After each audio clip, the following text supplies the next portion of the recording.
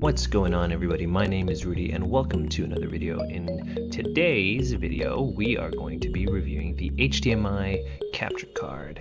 Um, specifically, a generic capture card that is sold by a company called Yetasi or YetASI. Um, in a world where most capture cards, really good ones, cost $150, um, I was really on the hunt for something that was a little bit cheaper. So um, this one, at the time of when I bought it, and the time of checking this video, is around $30. Full link and this is in the description below. Alright, so this next section is going to be a standard unboxing, but while I go through the unboxing, let's just talk about what an HDMI capture is for the uninitiated.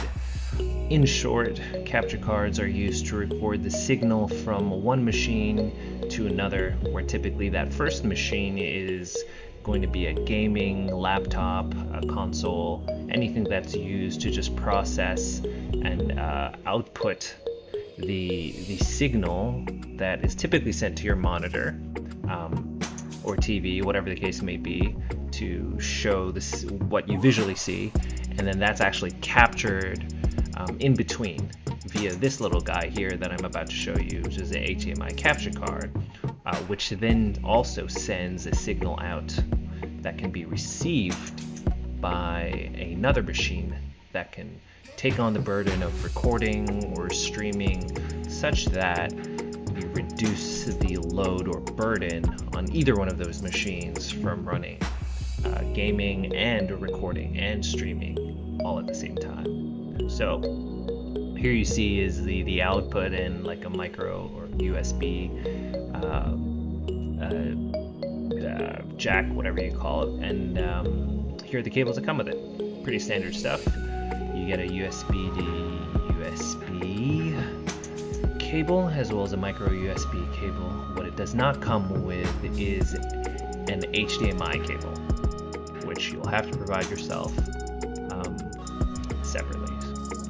So, see the configuration of how you would typically set it up.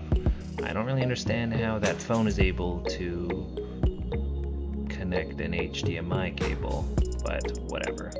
Uh, you'll see that there's OBS mentioned in this little pamphlet here. It's exactly what I use to record and broadcast and stream. Open source software is always the best.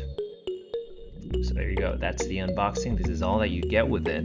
You do not get an HDMI cable, so make sure that if you do go get this, you have that handy to get your uh, setup going right away which we're going to jump into right now.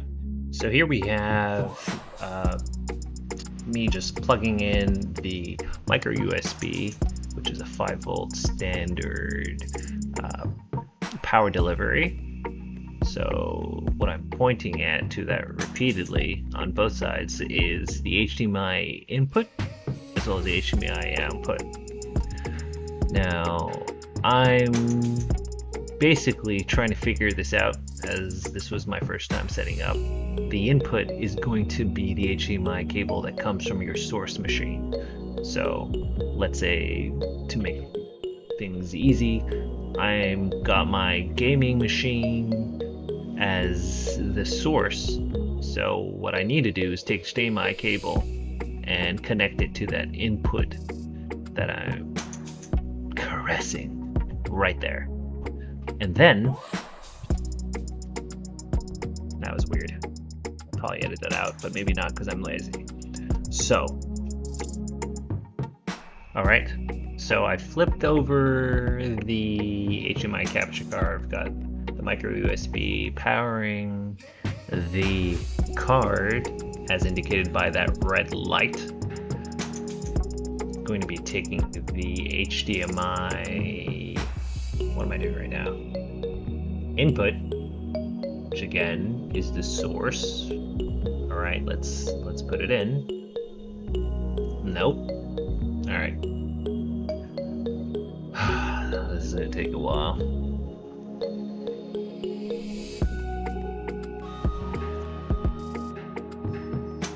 Okay, so we're gonna put the HDMI input right into that slot. And next thing is to take the output, which is typically what gets sent to your monitor or display of choice, or if you got a KVM switch, the KVM box. Link to that video below. And then once you've got that hooked up, the next step is, all right, let's wait until I got that set up.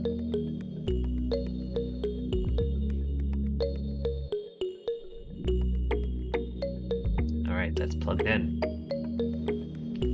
into that AMOS KVM switch.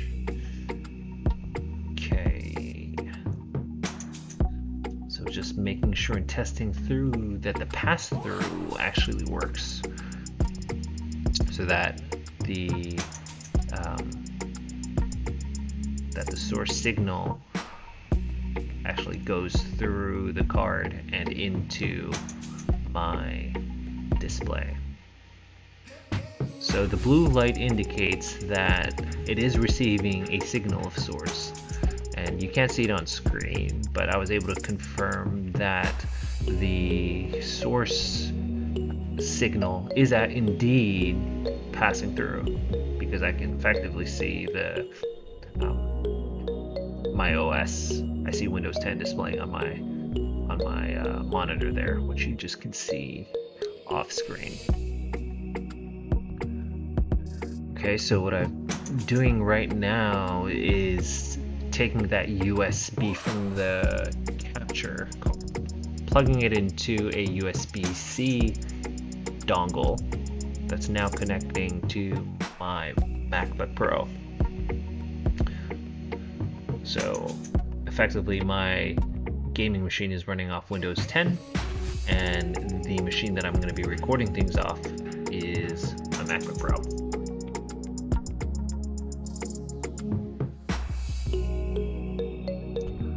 Down to the monitor you can see that the signal is indeed passing through the HDMI capture card.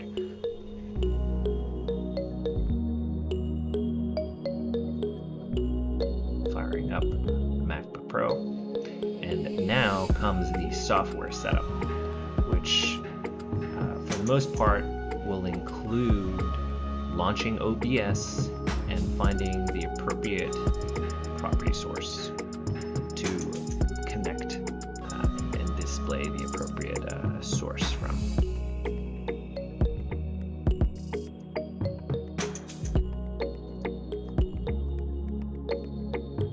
Okay, so from here, it's just a matter of launching OBS and then from the video capture device section of OBS, you just have to select the appropriate source. In this case, it will come through as I think USB video, if I'm not mistaken.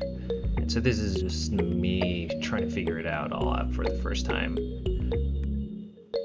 Referencing the doc. And here's me actually just struggling through it all. Not necessarily winning. So it gets a little tricky for the first time. And just wasn't able to get things to show properly the first time. And what ended up happening was the uh, USB connector wasn't really solidly connected the first time through. So the one thing that I would say is that if you have, uh, if you do get this HDMI capture card um, and you have higher quality cables, that you can use instead of what it comes packaged with, I'd highly recommend using those instead. Uh, I was able to use a braided cable um, from the USB to USB uh, connector, and that worked much better. Okay, so at this point, I think I figured out. It's just a matter of selecting the right source. As you can see, I was able to pull up the desktop for my Windows 10 right there onto my MacBook Pro, uh, which is um, getting and outputting the signal that is coming from the capture card. I'm trying to adjust the canvas to match the resolution that's on my um, Windows 10 machine, but really that's just more of an OBS configuration versus an actual limitation of the capture card itself, even though I do think there's a resolution limitation, actually. Um, just double check the specs that uh, come with the capture card as well as on the Amazon page just to make sure that it fits your specific needs. I'm mostly using it just to have fun and test StarCraft, StarCraft streaming, uh, which is also on my channel, so give that a check if you want to see the capture card happen in real time. But otherwise, I do have a quick demo of how that actually looks. So let's see how it is in action. Demo time, here we are playing StarCraft 2. So um, this clip is a little bit old. I've since been able to adjust the settings and modify it to a place where I'm fairly pleased with it. But as far as my first try through this, it worked fairly seamlessly, and I've been pleased with it thus far. Um, the only other thing to note is that the audio actually passes through the HDMI as well. So as you can see, I've got my headphones attached to uh, the monitor. So there is an audio output that comes from a monitor, which is taking the signal from HDMI, which is passing through HDMI capture card, which is also being captured by OBS on that secondary machine. So there you go. All right, so final verdict. Is it worth it at 30 bucks? I would say definitely yes if it is your first foray into streaming, recording gaming, or just capturing your uh, whatever it is that you want to capture from one device to another.